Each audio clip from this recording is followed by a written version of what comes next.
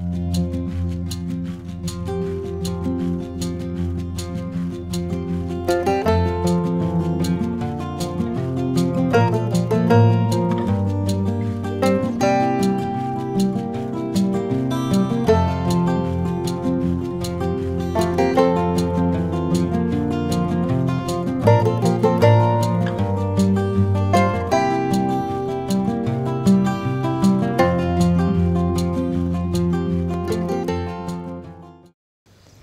we have studied about cell and tissue culture techniques. We know that the samples which have been extracted are cultured in petri dish uh, or in any other dish with a solution like PBS which is the culturing media. So, how do you provide the environment that is required, the optimal conditions required for proper growth of these cultured cells and tissues. Here we have the incubator. The incubator eh, provides the right temperature, humidity, CO2 levels which are required for optimal culturing of cells and tissues. So, let us see what are the different options that the incubator provides us. Now, this is the degree Celsius So, this is a degree Celsius for temperature setting. This button helps us to set the optimal temperature and it says that 37 degree Celsius is the optimal temperature for the culture growth. So, it is set at 37 degree Celsius. So, it takes time to ramp up. This is the current temperature and once we set it to 37, it takes time to ramp up the temperature. And then what is the amount of CO2?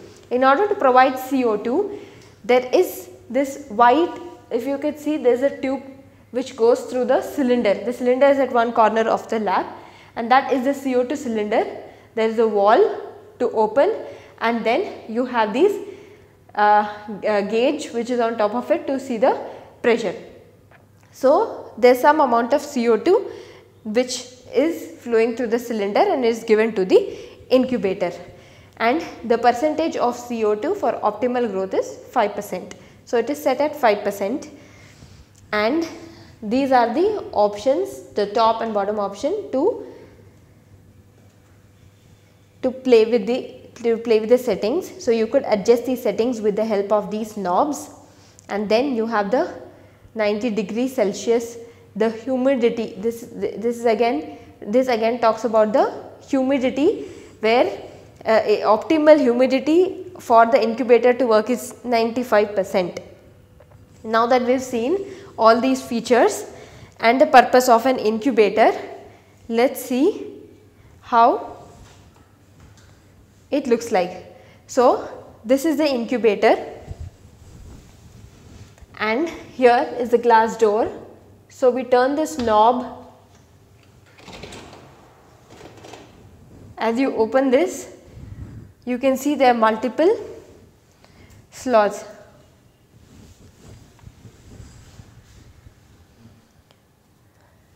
So, each of this rack you could keep your cell or tissue culture petri dish inside these and in order to maintain humidity it is important that there is some amount of water the DI water has to be placed at the bottom we, we prefer to put DI water so that there is no contamination. So, all of this, this is how the incubator can be used and it becomes an essential part when you are doing the cell and tissue culture.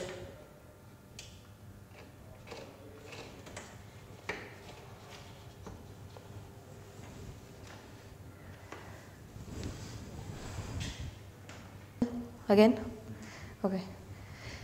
So, we have seen how an incubator is required to provide the necessary temperature, the CO2 levels, humidity, all of these controlled environments can be provided using the incubator for proper cell and tissue culture growth. So, these are the multiple options, the panel here with the display which is the degree Celsius which is the temperature and the percentage CO2 levels and then the top and bottom arrow for settings and then you have this calibration to cali calibrate the device and then auto here option is to cleanse the entire uh, incubator. So, you do that once uh, every time you after utilizing it over a period of time you have to cleanse the entire to prevent any kind of contamination inside this device. So, now that we have seen the different features the optimal temperature condition for a proper cell culture growth is 37 degrees Celsius. Humidity has to maintain has to be maintained to around 95 percent and CO2 is like 5 percent. So, where is the CO2 coming from? We have a cylinder at the corner in the lab in the facility here. So, the, it has a valve you open the valve check for the pressure knobs and then there is this CO2 which is supplied to the incubator. Let us see. So, this is how it is. So, this is the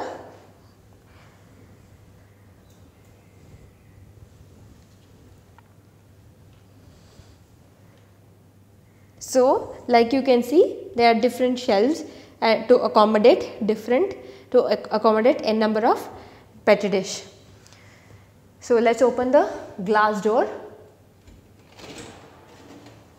And each of these can be I have an individual rack facility. And at the bottom always ensure that there is some water. We maintain some water to certain extent in this bottom level for the humidity control the entire device you need to maintain some amount of humidity and hence you have the bottom rack filled with water. Let me close this. So now that you have seen how an incubator becomes an important part in laboratory for cell and tissue culture growth, let me show you another device which is a new device in the laboratory. We haven't fixed it yet but this is the shaker incubator. As we have seen how the incubator becomes an important component in order to provide a proper culture environment for your cell and tissue, the bacterial culture, yeast, or any other bio uh, material which you want to study in uh, just to provide optimal conditions for growth.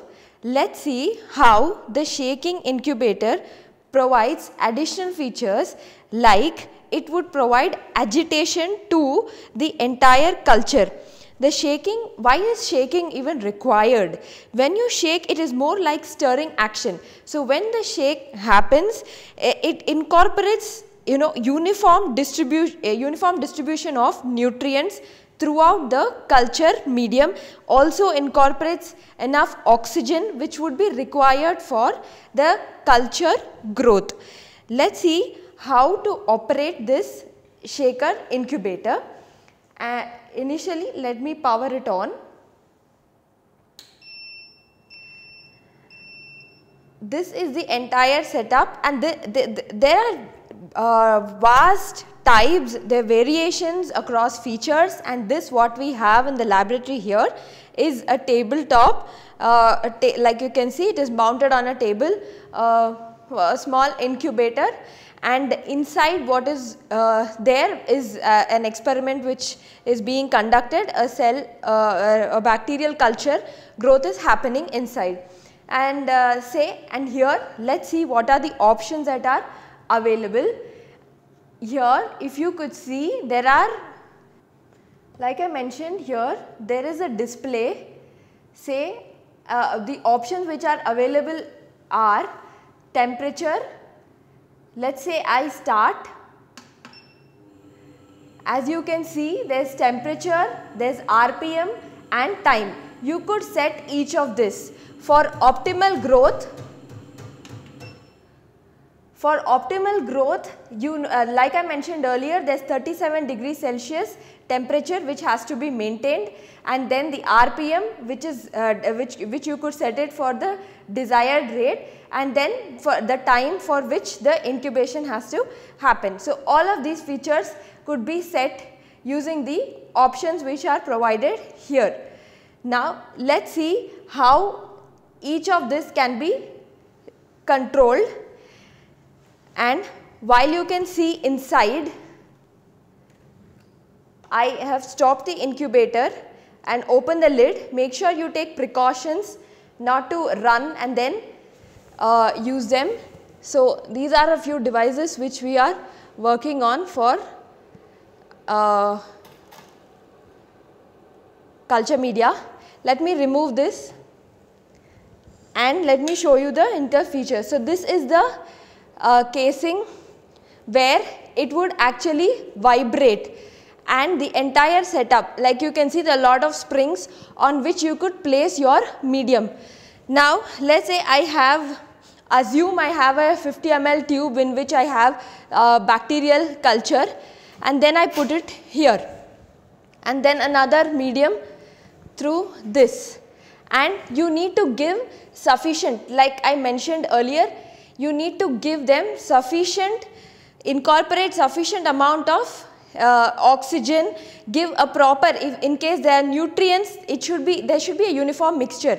And then what happens is let us say I start. If you can see see how it rotates. This so there is a sort of agitation which it would provide for the set RPM and the temperature would be maintained inside for the set temperature. For cell and tissue culture the optimal temperature 37 degrees Celsius and then the required RPM can be set for the desired time. This ensures uniform mixture. The en en entire nutrients would be sufficiently distributed to the entire sample or the, the culture growth, the amount of quantity that you had taken to study. So, this is the advantage what the shaker incubator can provide than the conventional incubator what we have already seen. Also when you want to uh, have an incubator look for features where you could look for programmability like increasing the temperature or setting the RPM. So all these features should be available. You have a control over adjusting the RPM temperature and then the amount the, the kind of interior here it is a stainless steel interior so it, it, it, uh, it is free from rust and other things and gives long life. So these are the features which you should look for while you choose an incubator. Now that we have seen now I hope you understood how a shaker incubator provides advantages and how it enhances the entire process of cell and tissue culture growth. So let me stop it now. Yes, this was a the, uh, this is how the entire system can be operated and used in case you would, you would like to use them uh, to enhance the entire process of growth uh, of any sample which you want to study. Thank you.